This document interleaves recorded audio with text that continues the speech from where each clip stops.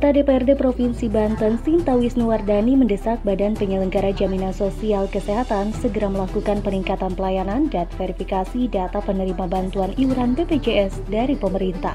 Hal itu disampaikan politisi Partai Keadilan Sejahtera ini saat menggelar reses masa sidang kedua tahun 2019-2020 di Kota Cilegon, Kamis 12 Maret 2020.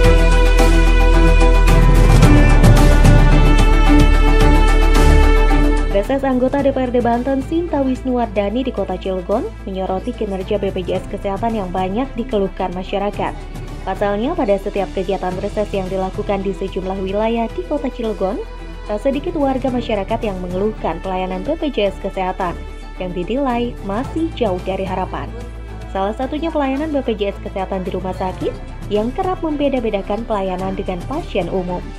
Padahal selama ini masyarakat juga dituntut untuk memenuhi kewajiban membayar iuran setiap bulan. BPJS yang saya tahu mungkin masyarakat udah merasa rutin memenuhi kewajibannya yang kelas 1, kelas 2, kelas 3. Cuman mungkin pas di pelayanannya kadang kurang kurang apa nggak sesuai kali gitu ya ngerasa udah bayar kok uh, misalnya kayak di rumah sakit gitu pelayanannya kurang maksimal atau baru berapa hari udah suruh pulang apa gitu? ya harapannya istilahnya tolong digubris lah gitu ya masalah BPJS ini.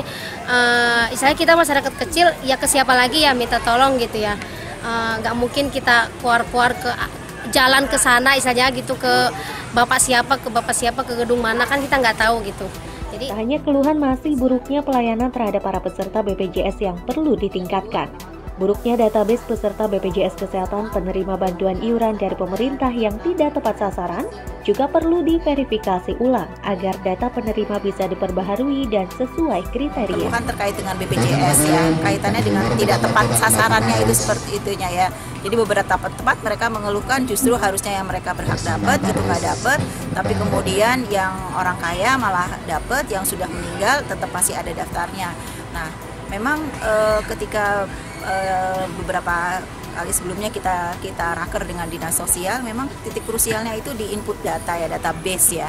Jadi database ini e, harusnya e, kalau databasenya dari awal itu benar gitu kan karena kan e, pusat menerima dari provinsi. Kondisi ini diharapkan bisa diatasi. Terlebih, kenaikan iuran BPJS Kesehatan juga akan memengaruhi kemampuan pemerintah dalam mengcover pembayaran iuran BPJS Kesehatan penerima bantuan iuran ke depannya.